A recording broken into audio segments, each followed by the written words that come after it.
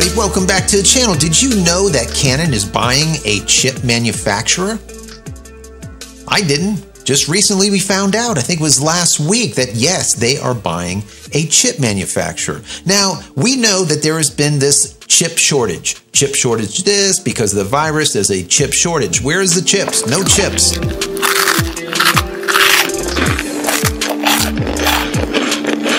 Not just photography or videography, it's all tech. We're having this chip problem. But just yesterday, we saw Apple introduce a brand new iPhone. This is iPhone 13 Pro. An iPad and watch. Well, the iPhone and the iPad are going to use this new A15 Bionic chip. Our silicon is the engine of iPhone. With A15 Bionic, we have innovations across the entire system to deliver more performance and power efficiency. Well, normally during a cycle where they go from an iPhone 11 to an iPhone 12, they order or they get or acquire about, let's say, 80 million chips.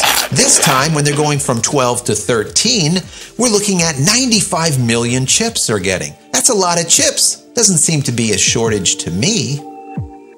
Interesting, right? Well, just recently we've had a, let's say, family car problem, a transmission problem. I ended up taking the car over to Ford, and Ford said, yep, transmission's not working. Luckily, you have a warranty. Thank you. What is the problem? They said, yeah, you have a TCM problem. I'm like, what the hell is a TCM? They said a TCM is a transmission control module. I'm like, all right, we have it under warranty. Please get one for us. Install it. They're like, no problem. We'll go ahead and do that. We're going to rent a car for you. All right. We rented a car. How long do you think we had that car? 31 days. 31 days it took them to get a from Ford a TCM module. 31 days. Why? Chip shortage. Chip shortage. This is not a joke. This is 100% the case. So just a few days ago, we found out that Canon was trying to circumvent this chip shortage by increasing their internal production. Now, how is this going to happen, you ask? Well, simply they're going to purchase a Canadian based chip manufacturer. The manufacturer is called Redlen, And they've been around since 1999 and they employ about 200 workers. Now, is this a chip manufacturer that will produce camera sensors for Canon? No. What do they produce? Well, Redlen is a manufacturer of chips that go into tomography machines, tomography scanners. What the hell is that, right? Basically, it's a CT scanner. A CT scanner stands for computerized tomography. If you go to the hospital, let's say you need an x-ray of maybe your brains like I did when I got fuel poisoning a few months back. You remember that, right? We had a CT scan so they can see if I had Mickey Mouse growing inside of my head, which I didn't, thank God. But that's what a CT scan does it x-rays the soft tissue so you can see what's going on in there, unlike a conventional x-ray where you can only see the hard material, like bones, metal. So it is very important. So Canon owned 15% of Redlen. This is in the past. Now, just recently, they said, you know what? We're going to put out a proposition to them and say, listen, we want to buy the other 85%. Contact your shareholders. They contacted them. The shareholders said, yeah, go ahead and buy it. We want $270 million. Canon said, okay, $270 million sounds great to us. And that's what they're going to do purchase Redlen.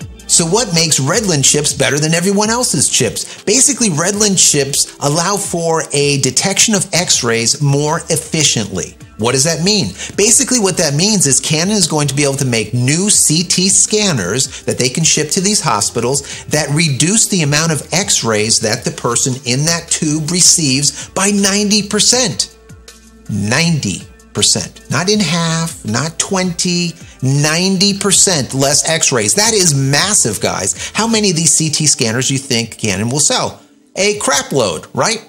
So, how does that affect us? Well, honestly, it doesn't. I think the story is very interesting because it shows that Canon, while it is a camera manufacturer, it's more of an imaging company that people don't realize. They make the lion's share of their income in the medical space and not necessarily in the camera space that we're in. So while that is the case, owning a chip manufacturer is not a bad thing. When they're not making those chips for the CT scanners, maybe, maybe they could start making some other chips for cameras. Who knows? But owning a chip manufacturer during a chip shortage, kind of makes sense. And this is what Canon is doing. So that's it for Did You Know today. I hope you enjoyed this. If you did, throw it a thumbs up. That'll be helpful. Don't forget to subscribe to the channel. Click this little bell icon over here so when I go live, you'll be notified of it. And don't forget, head over to my website, jcristina.com, where you can find all the photography tools I've invented for you and me over the years. And hopefully, there's something there that you might like. And if there is, please pick it up and support me and my family. And for staying to the end of this video, get 20% off everything in your shopping cart over at jcristina.com. That's it, guys. I'm out of here for the end of the vlog. Many blessings to you and your family. Stay safe and stay healthy.